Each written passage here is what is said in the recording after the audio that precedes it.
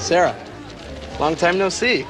Hi, your sister looked beautiful. Oh, thanks. You too. You know, you look like you've lost a ton of weight. See that girl over there with the brown hair? Really high maintenance. That's my fiance.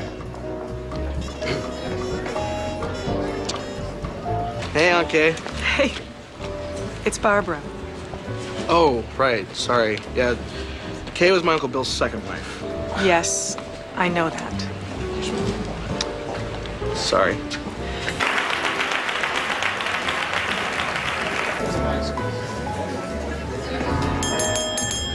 Uh, Can I have your attention? Can I have everyone's attention, please? I'd, uh, I'd like to say a few words about my sister. Oh no. Um, I'm not really very good at this kind of thing, but uh, here goes. Oh, this gonna be good.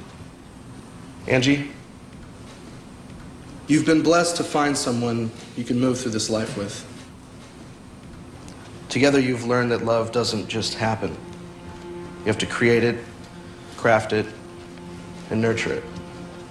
It can be even better when it's been held in the palm of the hand and cradled for a while. You've grown a love that is enduring, and stunning in its beauty. Congratulations on your wedding and continuing to create your lives together. Uh, I, I didn't actually write those words, um,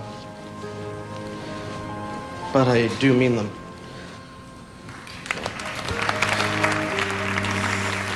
I love you, Angie. That was beautiful, Chris.